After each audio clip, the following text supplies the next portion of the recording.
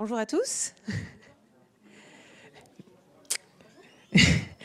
Euh, je, vais, juste vous demander de pas trop parler pendant que je fais la con parce que ça peut me perturber et que du coup je risque de me perdre et tout ça. Enfin, essayez d'être euh, cool là-dessus. Je comprends que vous ayez, puissiez avoir envie de parler, mais euh, voilà, je, je, vous demande juste ça pour, pour que je, je m'en sorte mieux. Donc déjà merci de, de, de, venir me voir et de venir écouter ce sujet. Aujourd'hui, je vais vous parler d'autisme. Euh, et euh, plus précisément, je vais essayer de répondre à la question de comment euh, on intègre une personne autiste dans votre entreprise, dans vos équipes, etc. pour ça, je vais... Excusez-moi. je vais vous faire une, explication d'abord de ce que c'est l'autisme.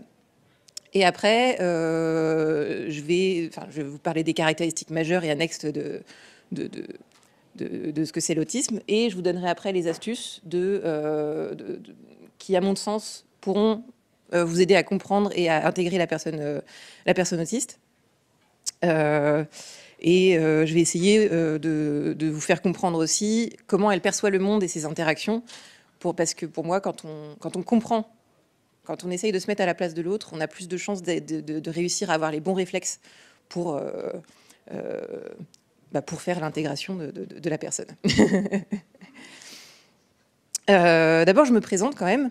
Euh, vous pouvez me trouver sur Twitter où je râle beaucoup.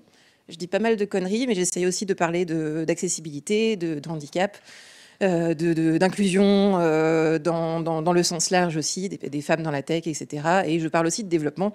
Et, et je pose beaucoup de questions aussi parce que j'aime bien essayer de comprendre comment, comment le monde fonctionne et comment les gens pensent. Et euh, je suis aussi sur LinkedIn. J'y partage vachement moins parce que j'ai beaucoup de mal avec ce réseau. voilà. Et je, je, fais partie des duchesses. Et euh, je suis aussi euh, euh, à Norcis. Norcis, qui est une entreprise qui, qui, fonctionne, donc on dit permaméqueuse parce que euh, parce qu'ils essayent d'appliquer le principe de la perma-entreprise. C'est euh, le chef de, de, Norcis qui a, euh, qui a inventé ce, principe, c'est la, la, permaculture appliquée à l'entreprise. Et, donc dedans, on a trois axes globaux, prendre soin des humains, pour prendre soin de la planète et se poser des limites et redistribuer les surplus. Et donc, mon talk se passe euh, plutôt dans l'axe prendre soin des humains, parce que quand on prend soin des humains, l'entreprise euh, se, porte mieux parce que les humains ont envie de, travailler bien et de se sentir et se sentent bien et vous remercient généralement aussi quand vous les traitez correctement. Alors, euh, on commence. L'autisme, c'est quoi? On parle d'une neurodiversité euh, on parle aussi de spectre de l'autisme. C'est euh, caractérisé par, enfin, il y, a plusieurs caractéristiques euh, majeures qui sont celles-ci qui sont utilisées pour le, le, diagnostic. Donc d'abord, on a les troubles de la communication verbale et non verbale. En, verbal, on, va avoir ne pas savoir trouver sa place dans la conversation, ne pas savoir si, enfin, quand on peut interrompre euh, quelqu'un pour pouvoir dire euh, ce qu'on a à dire, ou au contraire trop interrompre et euh, prendre beaucoup de place dans la conversation. savoir quand parler, savoir de quoi parler aussi, parce que c'est difficile de savoir bah, quels sujets vont intéresser les gens, comment, comment on, s'intègre dans une conversation et quand, quand on n'est pas en train de les ennuyer. aussi beaucoup de difficultés avec les codes sociaux, les, les, small talk, je sais pas si vous. L'exemple le plus parlant pour moi, c'est le ça va. On se pose toujours la question est-ce que ça va ou comment ça va? Euh, et, on répond toujours oui à cette question, même quand ça va pas. Donc ça, c'est quelque chose qui n'a pas beaucoup de sens et qui, est difficile à, comprendre pour une personne autiste. Euh, et aussi euh, des difficultés à comprendre les, les, expressions imagées. Autre exemple un petit peu parlant, je ne sais pas si vous avez vu des cordes tomber. Voilà. Ensuite, en exemple non verbal, on va avoir euh, trop ou pas assez de contact visuel. Le fait de regarder quelqu'un dans les yeux pendant qu'on est en train de parler, ça peut poser des, des, soucis à la personne parce qu'il y a beaucoup de stimuli qu'elle reçoit quand elle vous regarde. Vous faites beaucoup de micro-expressions, etc. Donc, soit elle va pas vous regarder du tout, soit, comme on lui a appris qu'il fallait regarder dans les yeux, elle, peut vous regarder trop et, vous mettre mal à l'aise à cause de ça. Donc, comprenez que c'est une mauvaise compréhension de ce, code social et c'est pas contre vous. et d'ailleurs, n'obligez pas les gens à regarder dans les yeux, s'il vous plaît. Euh, on peut avoir aussi euh, ne pas comprendre ou mal comprendre le langage corporel. Vous faites des gestes quand vous parlez et des gestes qui ont des significations, vous en rendez peut-être pas compte. Et donc la personne autiste va avoir du mal à les comprendre, et va parfois vouloir essayer de les utiliser aussi et les utiliser mal. Et donc vous donner des mauvais messages quand vous les recevez. Euh, et ensuite, on a donc les difficultés d'interaction sociale. Euh, là, on est plus sur euh, des difficultés à adapter son comportement en fonction du contexte, parce qu'on ne se comporte pas de la même manière quand on est à l'école, quand on est avec ses parents, avec ses amis, avec, euh, avec son travail. Et c'est quelque chose qui peut être difficile à comprendre, ces, ces, nuances dans le, dans, le comportement. des difficultés aussi à entretenir des, des, relations. Par, exemple, enfin, juste envoyer des SMS régulièrement à quelqu'un pour demander si ça va c'est quelque chose qui n'a pas vraiment de, sens si, on n'a rien à dire et euh, la personne autiste peut parfois ne pas renvoyer de message pendant six mois alors qu'elle adore cette personne. Hein. Donc c'est ça peut arriver assez souvent et avoir du mal à répondre euh, aussi à ces interactions sociales euh, quand vous les envoyez. Des difficultés à s'intéresser à la vie de, quelqu'un si elle ne contient pas des éléments de ses intérêts restreints aussi. Euh, restreint ou spécifique, euh, des difficultés à comprendre les différents codes sociaux en place dans un groupe, ça je l'ai déjà dit en fait, euh, et, donc à utiliser ces codes sociaux. et aussi des, beaucoup de difficultés à comprendre les messages implicites. Ça, c'est quelque chose de très commun chez les personnes autistes. L'implicite, c'est quelque chose de, compliqué. Donc, il beaucoup de difficultés à, les utiliser, à les comprendre. Et voilà. Ensuite, nous avons euh, les stéréotypies prononcées et répétitives. Là, c'est quelque chose que vous allez peut-être connaître un peu quand même. C'est quand, euh, quand on se touche les cheveux, quand on aligne des objets, quand, euh, quand on bouge la jambe, quand on est sur sa chaise et qu'on est un petit peu stressé. Donc la, personne autiste va avoir ce genre de, choses, mais aussi en, beaucoup plus prononcé et avec des gestes qui peuvent être beaucoup plus visibles. Donc des balancements d'avant en arrière, le fait de flapper quand on a des fortes émotions, des choses comme ça.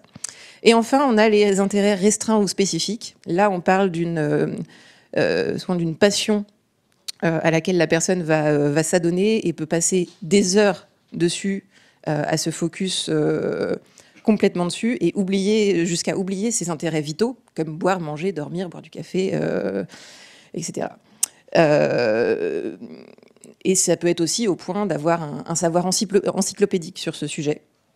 Euh, on pense souvent euh, aux autistes en parlant du, syndrome savant. Euh, souvent c'est pas ça, c'est juste que la personne passe beaucoup plus de temps que vous sur le sujet, donc elle a plus de connaissances que vous sur le sujet et elle va chercher tous les détails pour, apprendre par cœur toutes ces choses-là.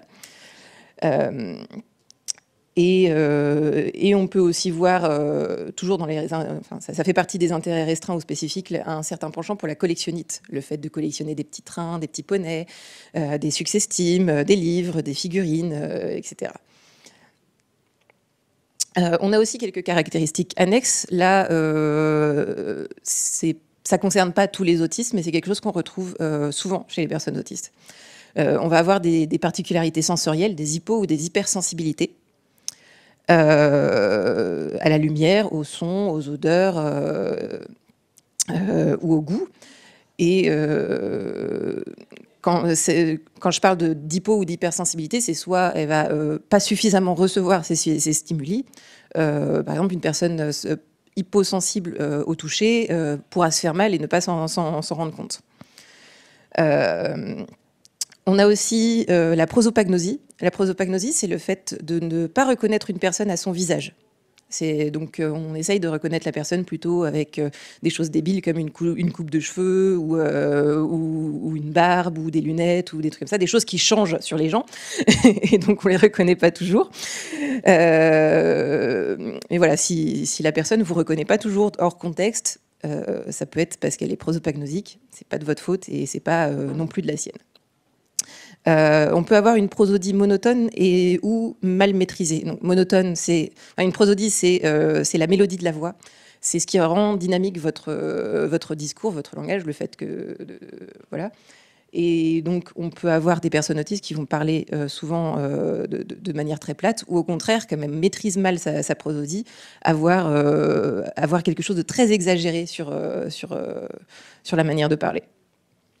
On va aussi trouver assez souvent des difficultés motrices, une proprioception un petit peu aléatoire, le fait de se cogner partout, d'être très maladroit. Euh, des raideurs, euh, ou aussi euh, une posture de tortue où il y a la tête un petit peu en avant, le dos recourbé. c'est quelque chose qu'on trouve souvent. c'est une, posture un petit peu défensive de, la personne. On va avoir aussi beaucoup de besoin d'une certaine routine dans, la journée et dans les semaines que les choses se passent, euh, qu'il y ait des choses qui se passent toujours dans sa journée euh, ou dans sa semaine, et que si ça se passe pas, euh, ça peut poser des problèmes.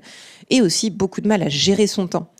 Par exemple, elle va avoir une routine matinale où elle va avoir 5, 6, 10 réveils. un réveil pour lui dire quand se lever, un réveil pour, pour lui dire tu es censé être procédé dans à ce moment-là, un réveil pour lui dire tu as, fini ton café, un réveil pour lui dire tu es habillé et un réveil pour lui dire tu dois partir dans deux minutes. Euh, un petit mot sur, euh, sur Asperger. Euh, je ne sais pas si vous reconnaissez cette image, ça vient du film Redman. Et justement, c'est pas Redman. Redman, c'est, ça, ça, peut être une, une personne Asperger peut être comme Redman, mais c'est, comme je vous disais, l'autisme, c'est un spectre. Euh, et le Asperger, c'est une partie de ce spectre où euh, la personne autiste est sans déficience et sans retard de langage. Euh, parfois, avec ça, on peut avoir un haut potentiel aussi qui permet à la personne de camoufler beaucoup ses difficultés avec une réflexion rapide et du coup une réaction rapide aux situations.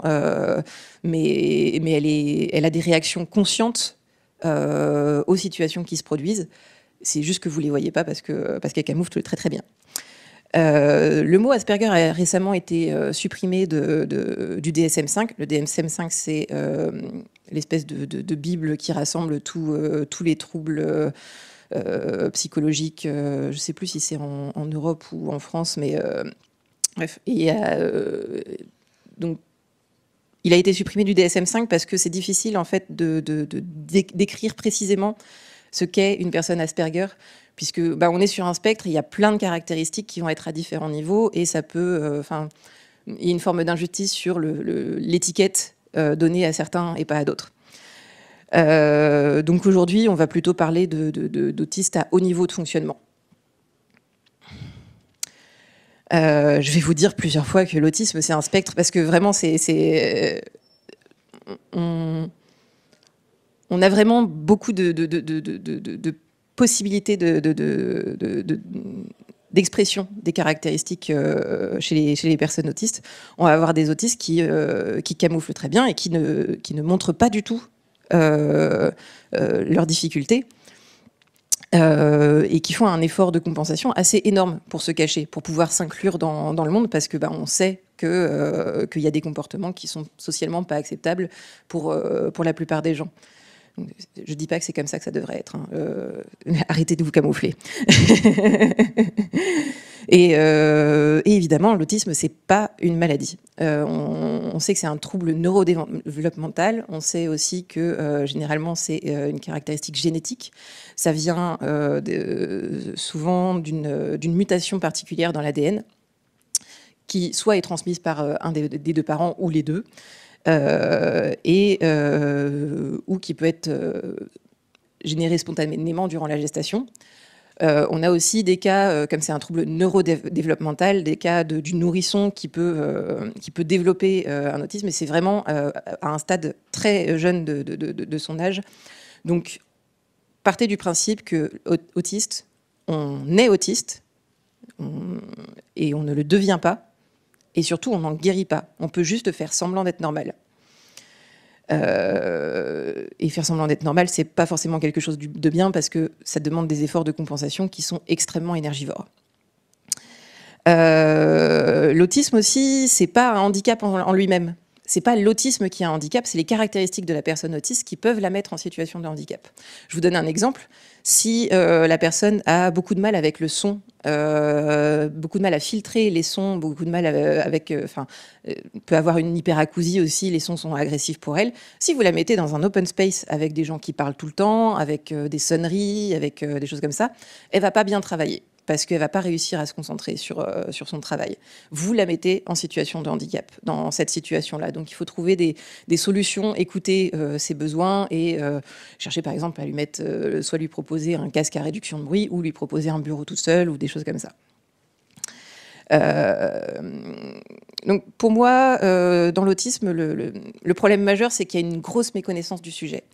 et qui génère aussi beaucoup de malentendus parce que ben, les personnes autistes vont chercher à compenser toutes leurs difficultés et à paraître normales, mais en même temps mal gérer les différents codes sociaux qu'elles vont essayer d'utiliser et faire mal comprendre leurs intentions quand elles parlent, euh, mal se faire comprendre quand, euh, euh, quand elles vous parlent et mal comprendre aussi ce qu'on attend d'elles.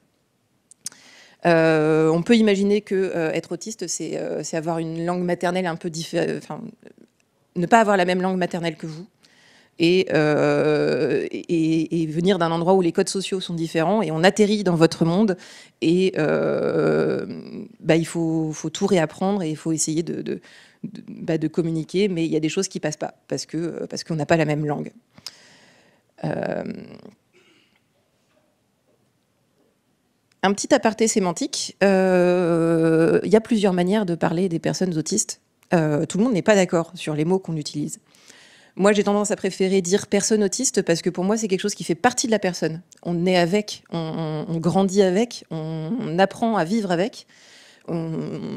C'est avec ça qu'on apprend à réfléchir et, qui développe nos, différentes euh, caractéristiques euh, et, notre personnalité. Donc c'est pas quelque chose qui est à côté.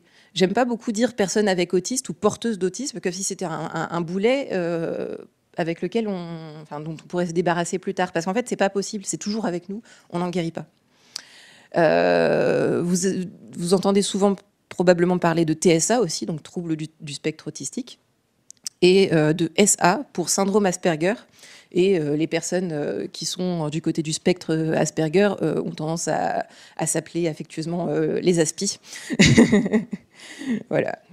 donc pour moi, l'important à retenir là-dessus, c'est encore une fois, l'autisme, c'est un spectre et euh, chaque personne vit ces, choses-là différemment. Donc, si vous discutez avec une personne autiste d'autisme ou de son autisme en particulier avec elle, euh, pensez à lui demander quel terme elle, préfère qu'on utilise euh, pour, bah, pour qu'elle ne ressente pas forcément ça comme une agression et que, la, discussion se passe sereinement pour tout le monde.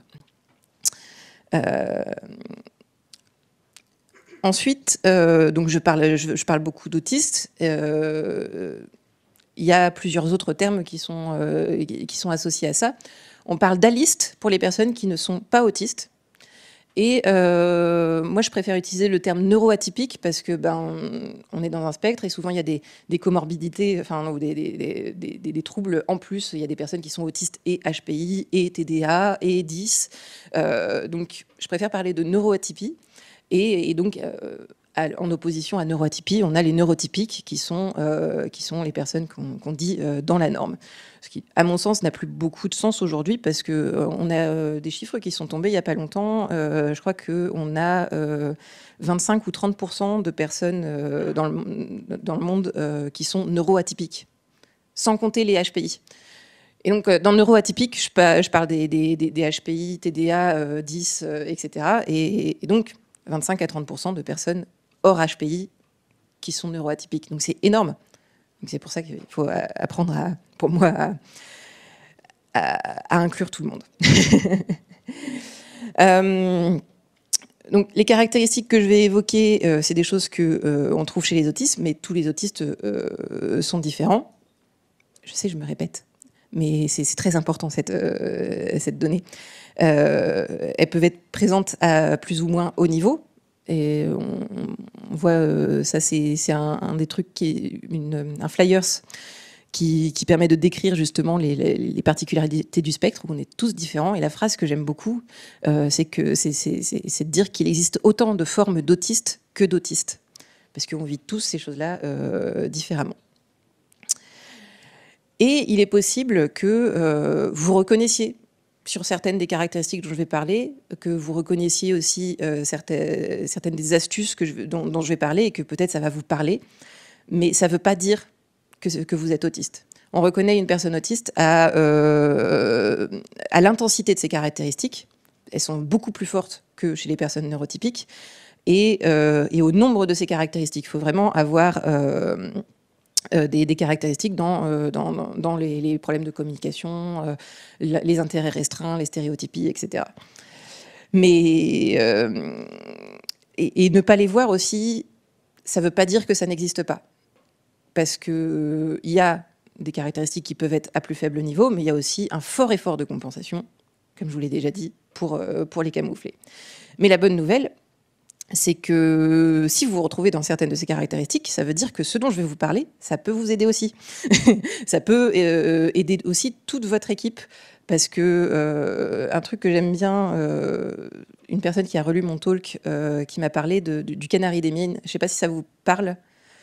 Euh, c'est le, pour ceux qui ne, savent pas, euh, les mineurs avant amenaient un, un, petit canari qui chantait euh, dans la mine, et quand il s'arrêtait de chanter, malheureusement, ça voulait dire qu'il était mort. On n'en est pas là aujourd'hui, mais, mais c'était qu'on avait probablement percé une poche de gaz et qu'il fallait sortir rapidement. Et j'aime bien faire cette, euh, métaphore que la personne autiste peut être considérée comme un canari des mines, parce que si quelque chose est, agressif pour elle dans, l'environnement euh, où elle est, euh, et qu'elle ne peut pas le supporter, il, est possible que les autres personnes de votre équipe se sentent agressées par ces choses de l'environnement qui, qui est agressif, et que ça peut les soulager un peu de, de, bah, de retirer ces choses agressives de l'environnement. C'est pas parce qu'elles ne disent rien et qu'elles le supportent que euh, ça leur fait forcément du bien. Et donc, euh, rendre l'environnement moins agressif pour une personne autiste, il y a de fortes chances que ça l'améliore pour tout le monde. On commence enfin avec les, premiers items. et on commence par bonjour, ou comment on, met en place euh, les codes sociaux de salutation. Quand on arrive dans une entreprise, nouvel environnement, nouveaux collègues de travail, nouveaux codes sociaux, et la première chose qu'on fait, c'est dire bonjour.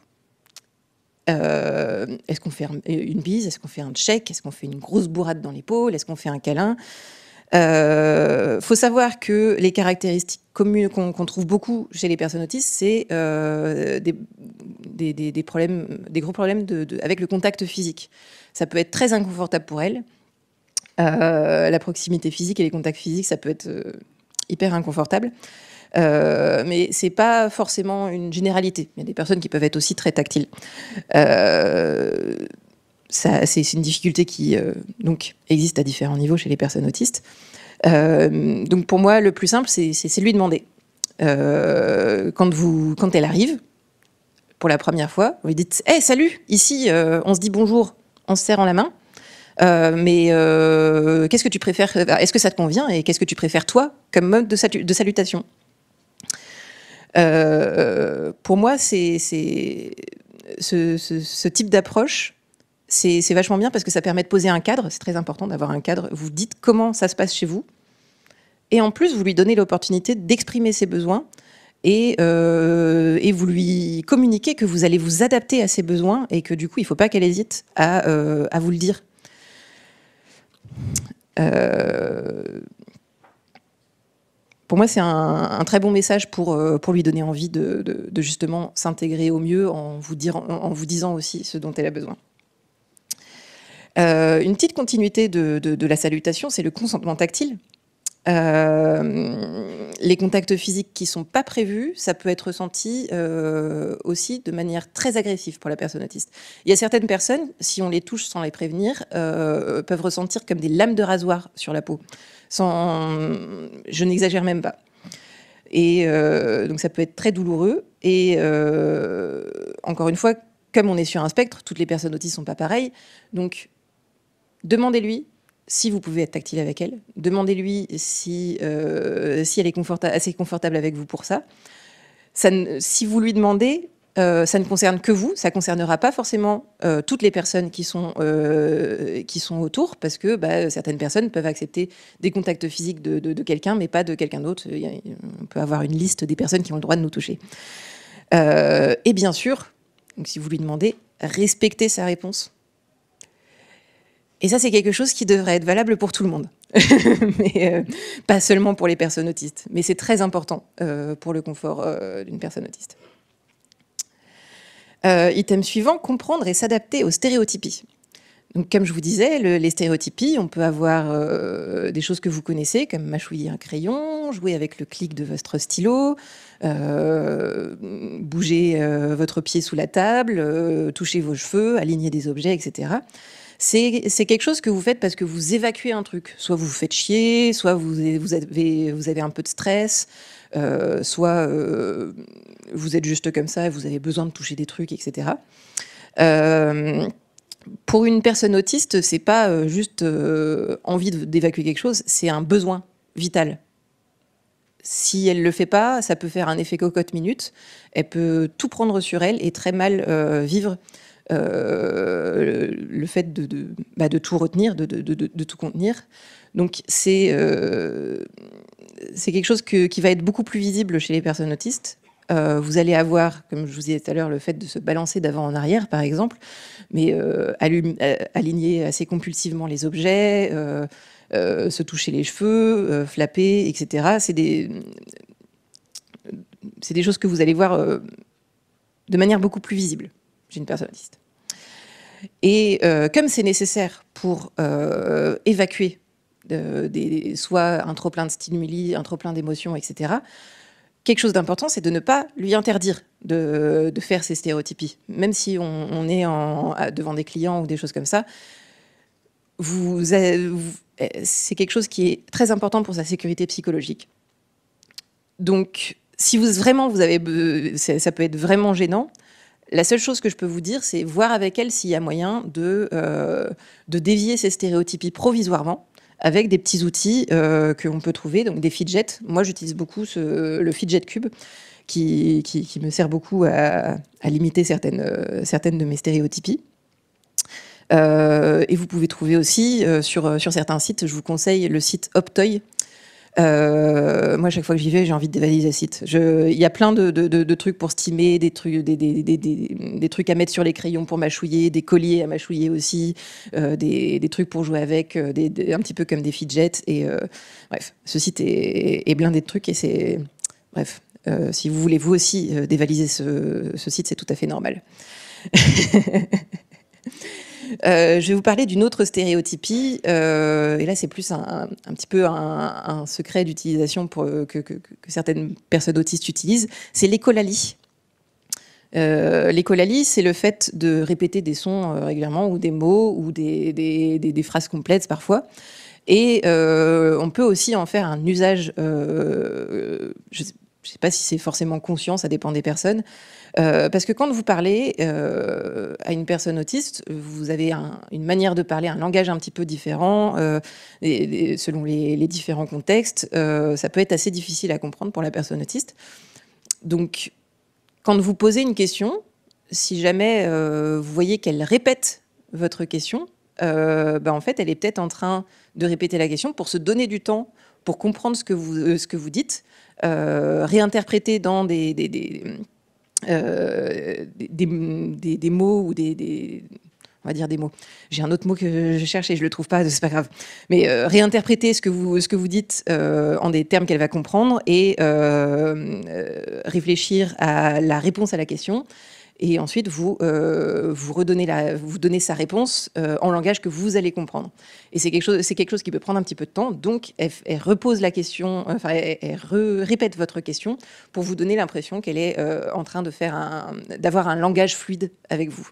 Et quelque chose d'autre qu'on peut voir, c'est répéter aussi la manière de dire bonjour ou quand on est au téléphone, par exemple, le au revoir de, fin de, téléphone, elle va attendre que vous le dites pour, euh, pour répéter sur le même ton, avec les mêmes mots. Ça permet euh, de rester dans euh, le... de, ne pas réfléchir à une formulation, de rester dans le même champ lexical que vous.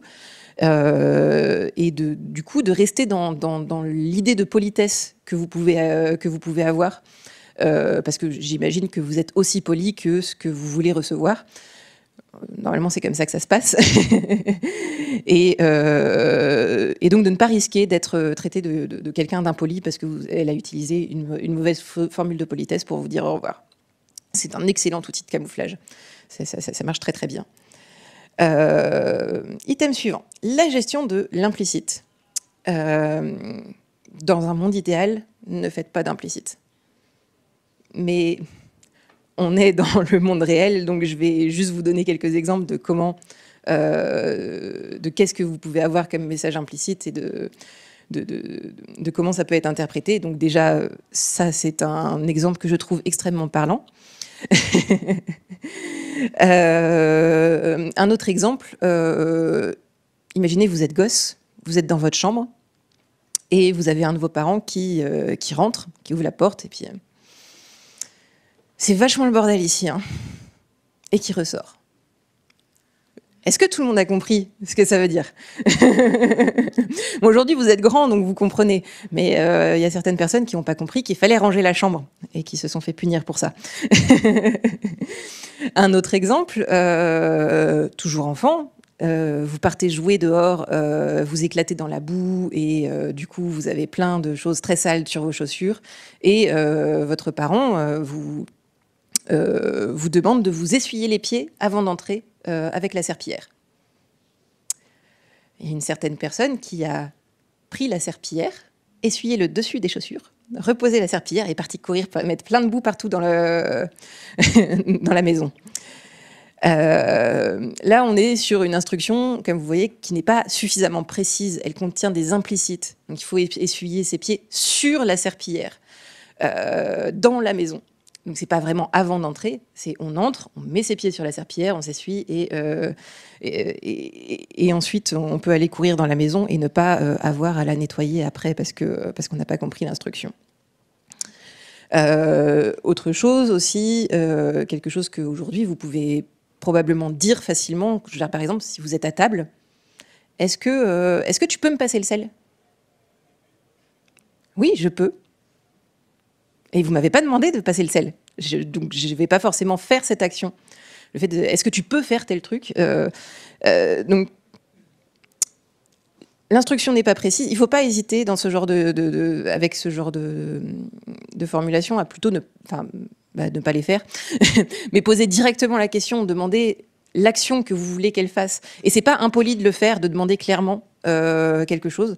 Euh, il vaut mieux que vous ayez demandé clairement et que, euh, et que du coup ce soit fait tout de suite, plutôt qu'on réfléchisse pendant 50 heures euh, à quelle était vraiment la question et qu'est-ce qu'on attend de moi. Donc dites ce que vous attendez de la personne.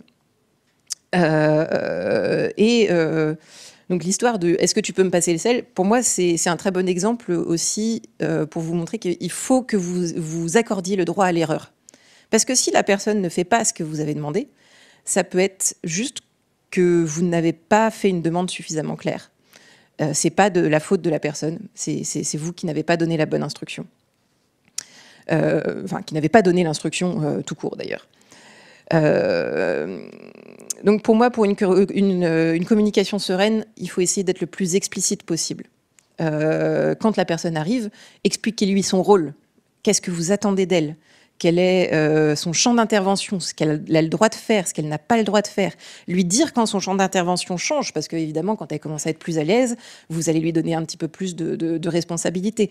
La prévenir que vous lui donnez plus de responsabilité et que vous attendez plus de choses qu'elle, euh, d'elle, pardon.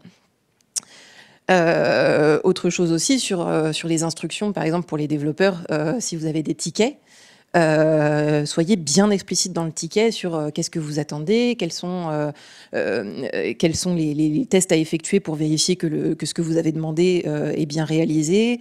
ça peut être un excellent travail pour vous aussi, parce que comme ça, vous, vérifiez que vous, savez en fait que vous êtes en train de demander et que vous avez une expression claire du besoin. Et la plupart du temps, les personnes autistes vont préférer des instructions écrites pour la simple et bonne raison que ça leur évite de vous poser 50 fois la même question. Elles vont, regarder ce qui est écrit, le relire peut-être une dizaine, une quinzaine de fois. Et si elles n'ont pas compris, c'est qu'il peut y avoir quelque chose qui manque. Elles vont vous poser des questions sur ce qui n'est pas écrit. Et dans ce cas-là, bah, changer l'instruction écrite, euh, rajouter les choses qu'elle vous a demandé, ou dites-lui euh, de se faire un petit fichier de questions-réponses pour qu'elle garde euh, qu'elle ne repose pas 15 fois la question. C'est quelque chose qui peut être assez intéressant à faire. Une petite note sur l'implicite sur, positif, parce que on a dans nos communications, des, langages beaucoup d'expressions de, langage non verbal, euh, avec des micro-expressions qui donnent des intentions euh, de, vos. Comment dire Des, intentions euh, que vous avez pour cette personne. vous avez tendance à inviter ces personnes sans dire vraiment pourquoi vous l'invitez. Donc, vous pouvez lui dire Je t'invite à faire une pause de café, et ce qui peut vouloir dire bah, J'ai envie de passer un, un moment informel avec toi. Euh, dire je t'invite à prendre une bière en dehors du travail, c'est euh, je t'apprécie et je veux nouer une relation hors travail avec toi. Euh, dire je t'envoie un SMS pour, pour savoir comment tu vas, c'est je m'intéresse à toi et je veux maintenir une relation. Vous vous rappelez le, fait qu'on ait du mal à maintenir une relation. Parfois, cette personne ne peut pas comprendre et elle peut avoir un ping assez important pour vous répondre à ce genre de, trucs-là. C'est faut pas le prendre mal, faut pas le prendre personnellement. Ça peut être juste qu'elle comprend pas l'intérêt de, ce truc-là, parce qu'elle a un besoin plus de, sens profond dans les discussions. Euh, ces avances amicales non comprises par les autistes, euh, ça, veut dire que bah, vous avez peut-être eu des, invitations comme ça qui, sont, tombées à plat, et vous avez peut-être manqué une occasion euh, de, nouer une relation amicale avec cette personne parce que ben, vous n'avez pas compris sa réponse ou sa non-réponse. Et peut-être qu'il fallait être un petit peu plus explicite euh, sur, euh, sur ce qu'il ce qu'il fallait lui dire. Et, et donc pour ça, comme l'autiste ne sait pas non plus faire d'avance amicale, il faut, faut pas se dire que la personne ne s'intéresse pas à vous. Pensez à lui poser des questions. Dites-lui, euh, demandez-lui si euh, pourquoi elle n'a pas répondu, euh, par exemple. parce qu'elle ne sait pas forcément communiquer verbalement ou implicitement ce, type d'intention. Ça ne veut pas dire qu'elle s'intéresse pas à vous. ou au contraire, elle se rend compte qu'elle n'est pas capable de, le dire implicitement, donc elle va vous le dire beaucoup. Verbalement, tout ça. Donc ça, faut pas lui en vouloir. Ça peut, paraître cringe pour certains, mais c'est quand même plus simple que d'essayer de vous communiquer des choses euh, implicitement. Euh, et donc, pour faire comprendre à la personne que vous l'appréciez et que, bah, vous avez envie de, passer du temps avec, euh, il faut, pour moi, verbaliser, expliciter tout. Peut-être pas tout, mais au maximum. dire je t'invite parce que, et on insère la raison implicite. Dites-lui je t'apprécie. Dites-lui parce que j'ai envie de te connaître parce que euh, je te considère comme un pote, parce que j'ai envie de te voir. Euh, euh, dites-lui, je veux passer du temps avec toi. C'est c'est des petits, c'est peut-être naïf comme ça de, de, de, le dire de cette manière-là, mais ça, peut être très important pour les, personnes pour qu'elles comprennent vos intentions. Et aussi verbaliser l'état informel de, de, de, enfin, les 1, 2, 3, 4, l'état de ces moments informels. Dites-lui quand vous avez passé un bon moment. Parce que euh, si vous ne le dites pas, il est possible que comme elle a probablement été rejetée toute sa vie, elle présuppose que euh, ça s'est forcément mal passé parce que vous ne l'avez pas dit. Euh, et puis c'est toujours bien de dire des choses positives. Donc dites-lui, j'ai passé un bon moment avec toi, c'était hyper cool. Euh, faut, faut, pas hésiter à faire ça. Item suivant, euh, la gestion de la précision et du cadre. Donnez-lui un plan.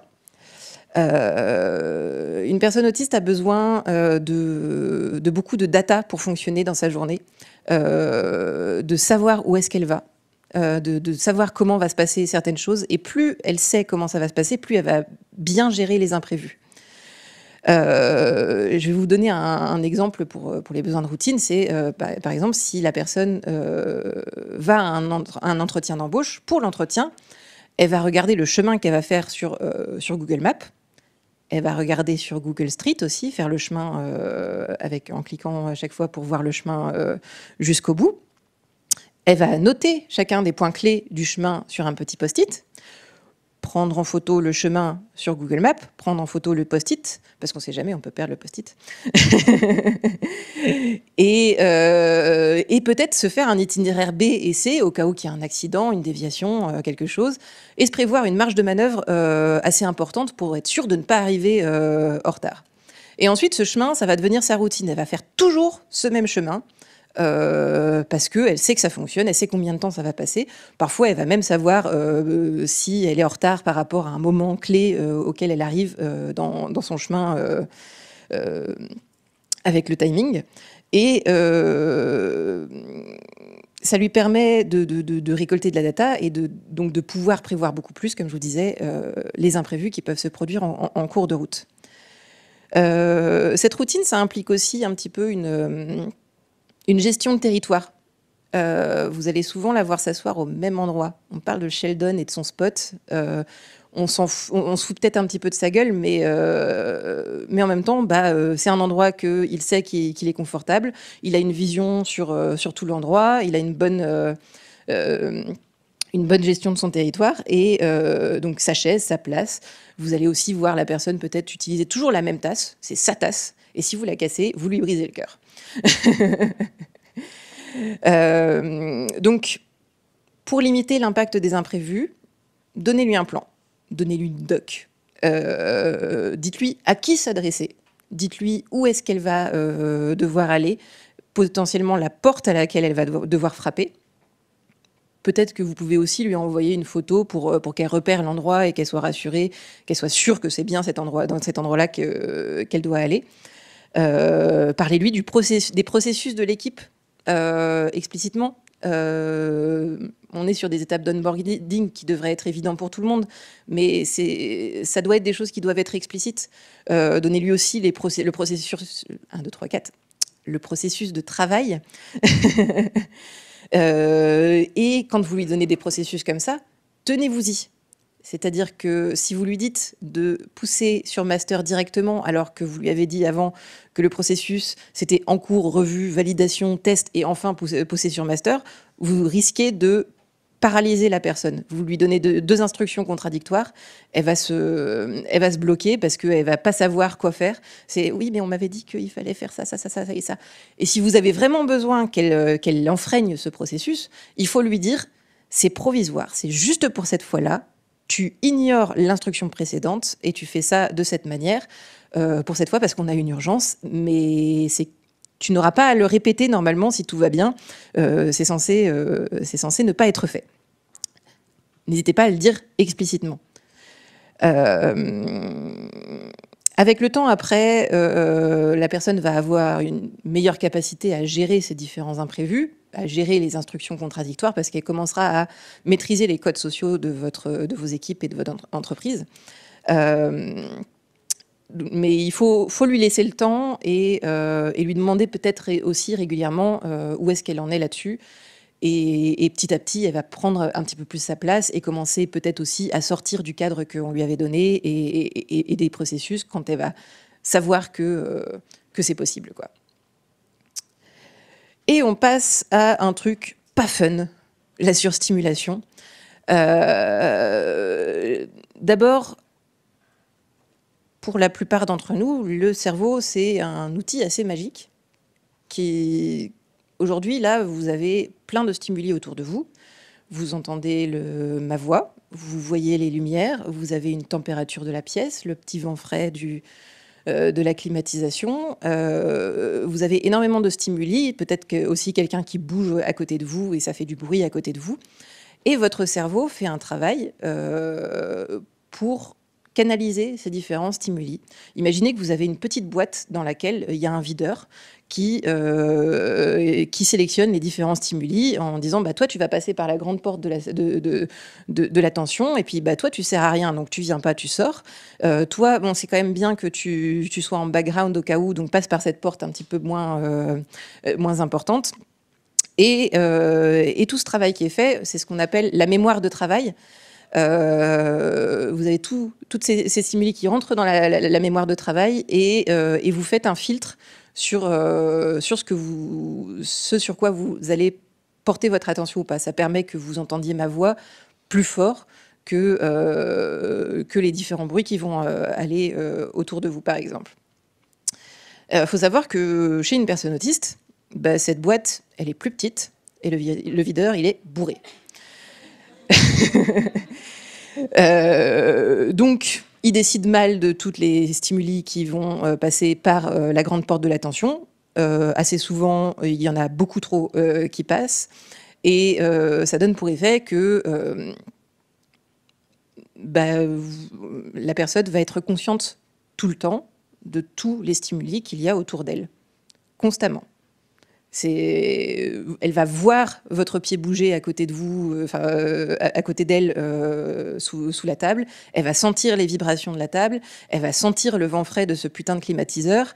Elle va voir les lumières, avoir une conscience aiguë des lumières qui lui arrivent dans les yeux, avoir conscience du bruit que vous faites quand vous bougez, etc tout le temps.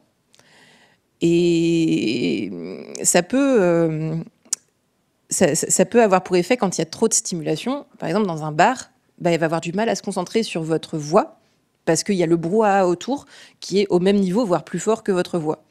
Euh, et, donc, elle est forcée d'avoir des efforts de compensation énormes pour pouvoir comprendre ce que vous dites, lire sur vos lèvres, essayer de deviner ce que vous dites avec les deux, trois syllabes qu'elle arrive à décrocher. Euh, donc dans l'idéal d'ailleurs sur, ce genre, si vous côtoyez des personnes euh, comme ça, essayez de faire des rendez-vous dans des lieux plutôt calmes euh, ou des lieux où il y a moyen de s'isoler pour qu'on puisse se, se, reposer un petit peu de tout ce, ce, ce brouhaha, ce bruit, tout ça.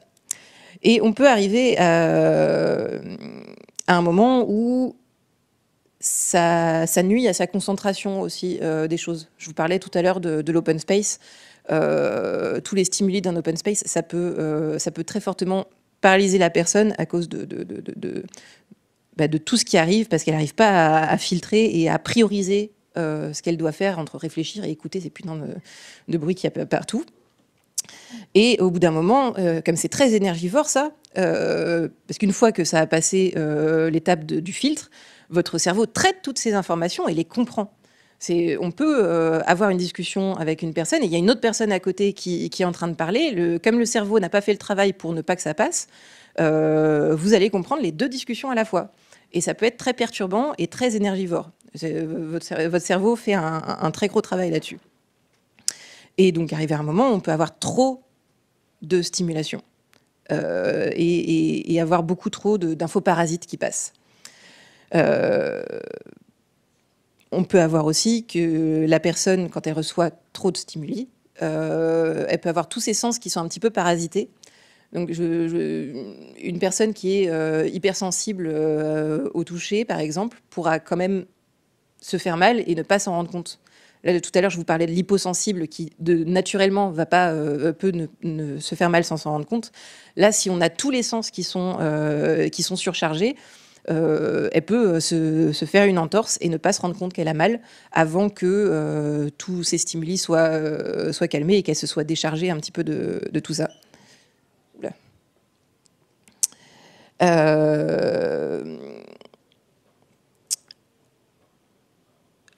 on peut arriver à un moment où bah, le, videur, même bourré, il a quand même besoin d'énergie pour fonctionner et il peut s'éteindre parce que plus d'énergie on arrive à, un seuil où euh, on a une, sorte de gestion de, ces stimuli euh, sans aucune défense. Euh, et là, tout peut devenir agressif pour la, personne. Donc des choses qui n'étaient pas forcément agressives avant vont devenir agressives pour la personne.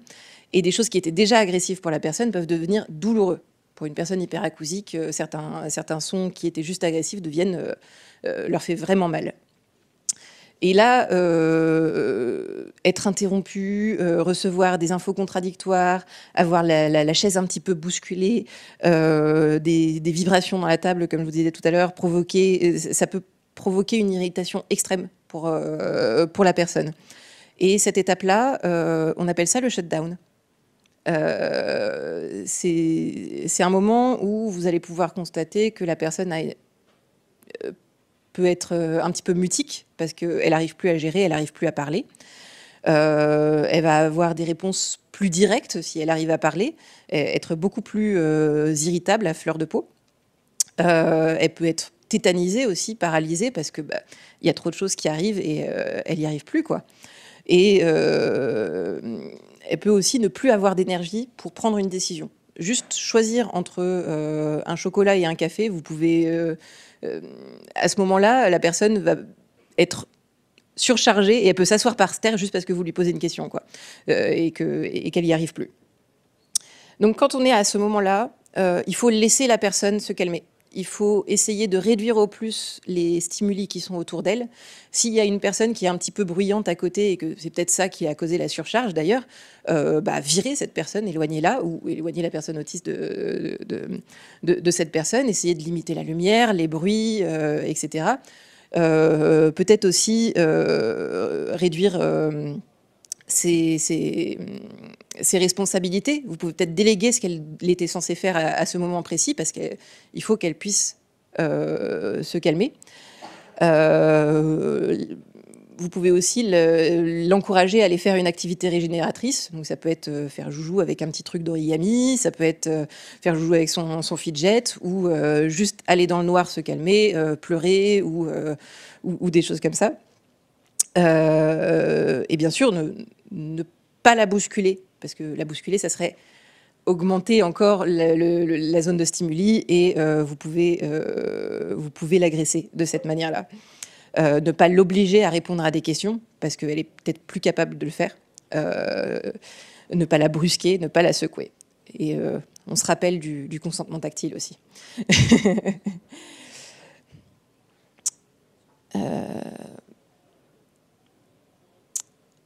Après cette étape de shutdown, si on n'a pas respecté euh, les besoins de la personne et si elle arrive à la, limite euh, qu'elle peut gérer, euh, on, va avoir une fin de batterie de, cette personne et on va arriver à une étape qui s'appelle le meltdown.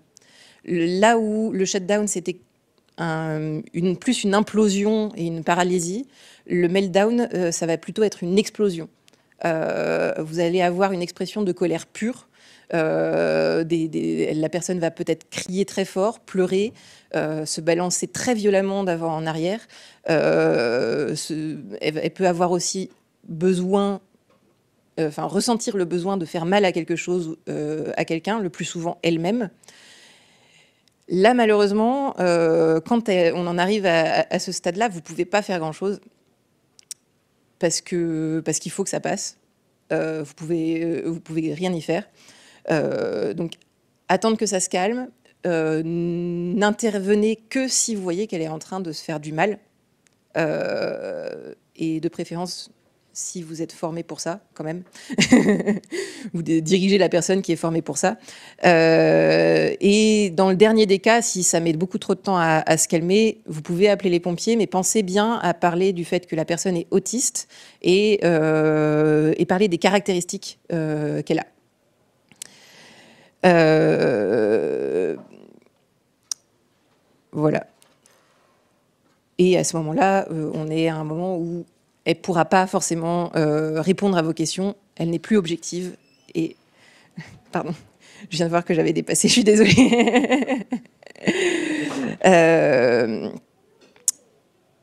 donc, vous ne pourrez pas lui demander à ce moment-là ce qu'elle a besoin parce qu'elle elle est beaucoup trop surchargée. En bref, en résumé, euh, bannissez l'implicite, explicitez au maximum, verbalisez, euh, communiquez avec elle, euh, ayez des feedbacks et acceptez les différences et les besoins qu'elle peut avoir. Parce que bah, si elle vous dit qu'elle les a, même si ça ne se voit pas qu'elle a des besoins, il faut accepter. Et, et voilà. Euh, quelques sources sur ce que, ce que, qui m'ont permis de comprendre euh, un petit peu tout ce que c'était l'autisme et, euh, et comment, comment vous aider dans ces choses-là. D'abord, Julie Dachès, qui a fait un livre qui s'appelle La différence invisible. qui parle plutôt de l'autisme au féminin. Ça retrace le parcours d'une jeune femme qui, qui, qui, bah, qui, va vers son diagnostic et qui, comprend, qui commence à se comprendre ses, ses difficultés, etc. Et euh, moi, ça a été une vraie révélation pour moi, ce, ce bouquin-là. Ça a permis de comprendre beaucoup de choses parce que ben, l'autisme féminin n'est pas, euh, euh, s'exprime différemment que, que, chez les hommes. Et c'est c'est important. elle a fait aussi une super vidéo sur, sur la théorie des cuillères qui permet d'apprendre à gérer un petit peu son énergie. Euh, les différentes slides, sur les différents slides, vous avez vu des BD. Euh, c'est euh, euh, qui, faisait ses BD. Elle a changé de nom entre-temps bah, à cause du fait qu'on a retiré Asperger, euh, etc., pour euh, Lily Spectrum. vous pouvez aussi regarder une des personnes qui a relu mon, mon talk, c'est Anne-Charlotte, et elle a fait quelques vidéos sur YouTube. Si vous mettez Anne-Charlotte Autisme, vous retrouverez sa chaîne. Et ensuite, comprendre les, règles tacites des relations sociales de Temple Grandin et Shane Baron, c'est un bouquin que je trouve génial parce que ça permet à la fois pour une personne autiste de comprendre ces, relations et comment, euh, en discuter, etc. Et, euh, à la fois, euh, pour les personnes alistes ou neurotypiques, de comprendre pourquoi la personne ne comprend pas les communications. et donc, ça, permet pour moi de, justement faire un juste milieu et que bah, qu'on puisse tous se comprendre euh, et, aider à ce qu'on soit inclusif. Et enfin, le syndrome d'Asperger de Tony Atwood, c'est un petit peu la Bible sur le sujet, où vous avez toutes les caractéristiques euh, de l'autisme, les différentes choses qui peuvent aider la personne, etc. Merci.